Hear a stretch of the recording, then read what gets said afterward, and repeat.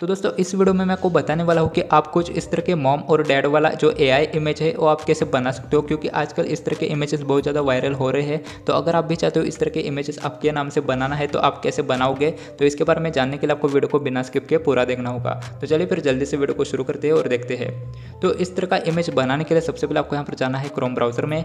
Chrome browser में जाने के बाद आपको यहाँ पर सर्च करना है Bing image creator Bing image creator जैसे आप लिख के सर्च कर देते हो, उसके बाद पहले वाली वेबसाइट को ओपन कर देना, उसके बाद आपको यहाँ पर क्या करना है, इसमें आपको अकाउंट बनाना होगा। तो अगर आप पहली बार इसको ओपन कर रहे हो तो आपको इसमें अकाउंट बनाना होगा। तो अगर आपको नहीं पता अकाउंट कैसे बनाते हैं तो उसके ऊपर मैंने ऑलरेडी वीडियो बना दिया है तो आप जाकर के उस वीडियो को देख लेना। उस वीडियो का लिंक आपको डिस्क्रिप्शन में मिल जाएगा। तो जैसे आप इसमें अकाउंट वगैरह बना देते हो तो अभी आपको यहाँ पर फिर से जाना है इस वीडियो के डिस्क्रिप्शन में। और वहाँ पर मैंने आपको दो प्रॉम्प्ट दिए हैं, एक मॉम के लिए और एक डैड के लिए। तो आपको जिसका भी इमेज बनाना है, जैसे कि डैड के लिए बनाना है। तो डैड का प्रॉम्प्ट आपको यहाँ पर कॉपी करना है और यहाँ पर पेस्ट कर दीजिए, इस तरीके से।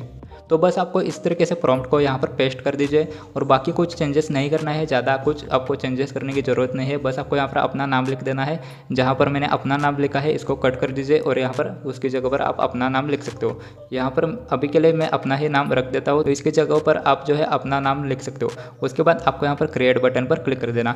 बाकी कुछ चेंजेस करने की ज़रूरत है नहीं, अगर आप करना चाहते हो तो कर सकते हो लाइट वगैरह कलर वगैरह चेंज कर सकते हो।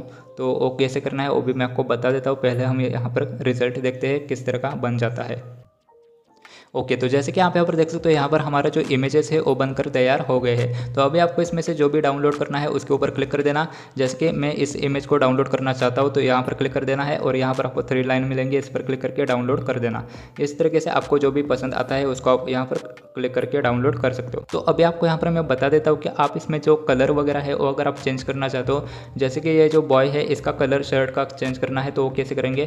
तो उसके लिए आपको यहाँ पर जो है, यहाँ पर लिखा है रेड कलर का शर्ट तो उसकी जगह पर आप यहाँ पर अपनी मर्ज़ी का कोई भी कलर लिख सकते हो। जैसे कि यहाँ पर मैं लिख देता हूँ वाइट कलर चलो वाइट ही लिख देते हैं वाइट टी शर्ट ओके इसके बाद अभी आपको यहाँ पर जो फॉन्ट है, उसका कलर भी चेंज कर सकते हो, जो कि बैकग्राउंड में आई लव डैड जो लिखा है, उसका कलर अगर आपको चेंज करना है, जैसे कि यहाँ पर मैंने गोल्डन कलर लिखा है तो उसकी जगह पर आप यहाँ पर अपनी मर्ज़ी से कोई भी कलर लिख सकते हो। तो अभी के लिए यहाँ पर गोल्डन ही रख देते हैं।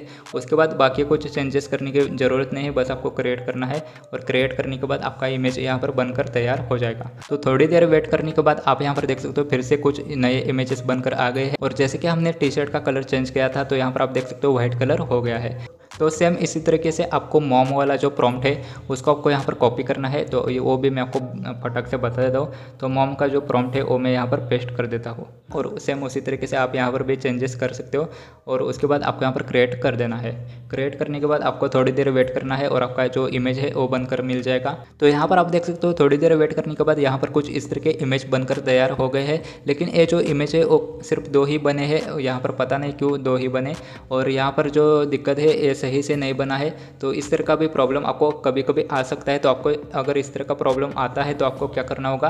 तो सबसे पहले तो यहाँ पर मैं जो है इसमें से कोई एक डाउनलोड कर देता हूँ, ये थोड़ा बहुत सही है। और अगर मान के चलो आपका भी इस तरीके से सही से नहीं बनता। जैसे कि ये जो बॉय है, वो साइड में शो कर रहा है। तो अगर आपको अभी इस तरह का हो जाता है तो आपको फिर से यहाँ पर क्रिएट करना है।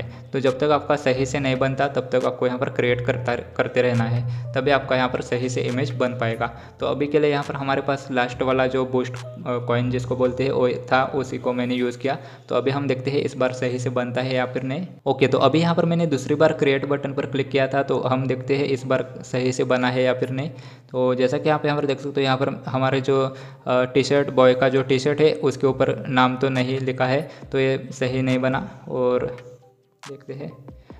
ओके तो ये जो है मॉम के लिए जो है थोड़ा सा सही बन नहीं पा रहा, पता नहीं क्या दिक्कत है। तो इसमें आप थोड़ा बहुत चेंजेस करके देख लेना अपनी तरफ़ से और बार बार क्रिएट करते रहना है जब तक ये सही नहीं बन जाता। तो इस तरीके से आप जो है जो ए आई इमेजेस है, वो आप बना सकते हो। तो अभी के लिए तो यहाँ पर मेरे बूस्ट कॉइन ख़त्म हो गए, इसलिए यहाँ पर मैं फिर से क्रिएट नहीं करूँगा, क्योंकि इस पर क्लिक करूँगा तो बहुत ज़्यादा टाइम लगेगा बनने में। तो अभी के लिए बस इतना ही। अगर आपको वीडियो पसंद आया हो तो वीडियो को लाइक कर दीजिए और कमेंट करके बताना वीडियो कैसा लगा। तो मैं मिलता हूँ आपको नेक्स्ट वीडियो में तब तक के लिए बाय